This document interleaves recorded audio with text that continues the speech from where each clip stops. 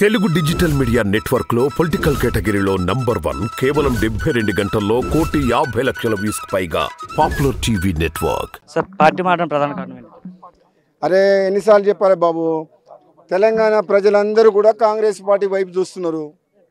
రాజగోపాల్ రెడ్డి వంటి వాళ్ళు తెలంగాణలో కాంగ్రెస్ పార్టీలో ఉండి తెలంగాణ కోసం కొట్లాడి తెలంగాణ తెచ్చిన మనిషిని. మధ్యలో బీజేపీ అయితేనే చేయగలుగుతారు అనుకున్నాము. కానీ సమాజం మొత్తం ఒకవైపు ఉంటే రాజకీయ నాయకులు మేము ఒకవైపు ఏం చేస్తాం? వాళ్ళ ప్రజల బాగోగుల కోసం ప్రజల కోసం నా నిర్ణయాన్ని మార్చుకున్నా కాంగ్రెస్ పార్టీ తప్పకుండా అధికారంలోకి వస్తుంది.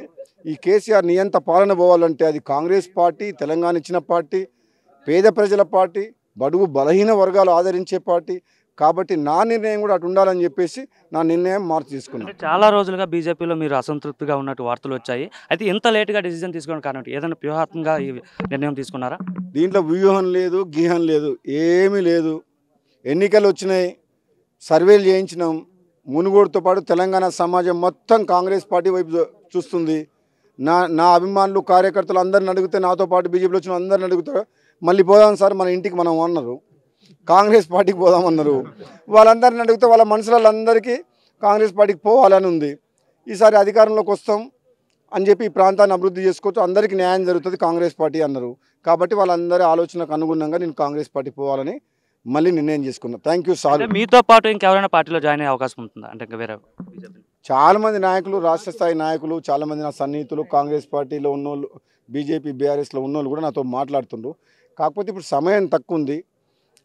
నెల రోజులే ఎలక్షన్స్ ఉన్నాయి. మరి ఎవరైనా వస్తే నాతో పాటు కూడా తప్పకుండా ఢిల్లీకి వస్తే వాళ్ళందరం కలిసి ఒకటేసారి జాయిన్ అయిపోతాం. టైం తీసుకొని రేపు. చాలా మంది టచ్లో ఉన్నారు. టీఆర్ఎస్లో ఉన్న వాళ్ళు కానీ బీజేపీలో ఉన్నారు కానీ నాతో పాటు బీజేపీలోకి వచ్చిన వాళ్ళు నాతో పాటు కలిసి కాంగ్రెస్లో పనిచేసి టీఆర్ఎస్లో పోయిన వాళ్ళు కూడా చాలా మంది వస్తామని అంటారు తెలంగాణ సమాజం మొత్తం కాంగ్రెస్ పార్టీ చూస్తున్నప్పుడు చాలా మంది నాయకులు కూడా వాళ్ళ ఆలోచన మార్చుకొని బీ కాంగ్రెస్ వాళ్ళకి రావాలని అనుకుంటున్నారు. నాతో పాటు కూడా చాలా మంది వస్తారు తప్పకుండా. Thank you